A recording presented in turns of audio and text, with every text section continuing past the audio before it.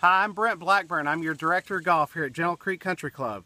Uh, we've been blessed with a lot of rain this spring, and as we head into summer, all that uh, moisture in the ground leads to lots of rough around the golf course. So I'm over here right on number 10, and I've got me a little shot here. My ball's in some pretty heavy rough, and I've got to uh, get it over a little mound and get it to the hole. So the first thing you ask yourself anytime, whether you're chipping or pitching, where I want to land the ball. I want to land the ball just over or just at the start of the green.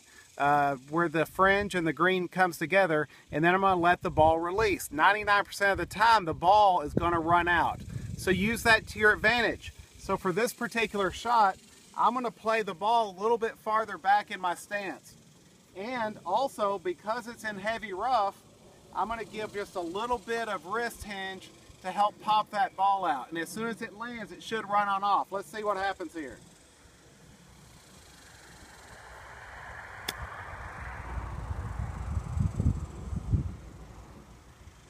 So if you need any help getting out of the rough here at Gentle Creek, don't hesitate to give me a shout. Brent Blackburn, your Director of Golf.